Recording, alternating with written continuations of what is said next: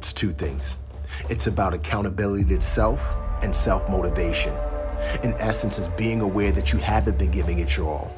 It's being aware that you haven't been eating right, sleeping, or taking care of yourself. It's being aware of the fact that for the last few weeks you may have been lazy.